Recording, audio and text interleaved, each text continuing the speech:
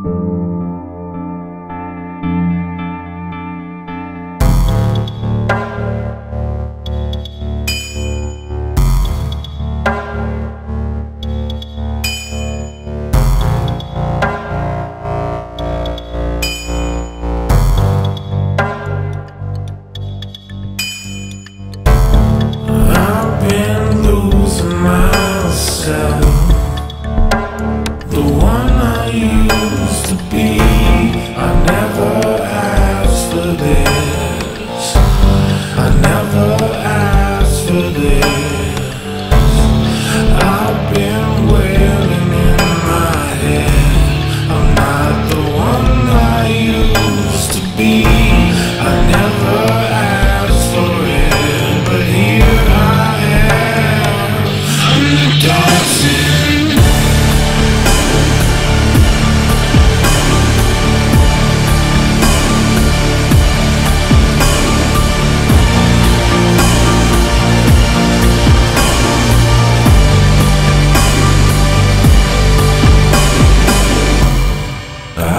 Been fighting myself.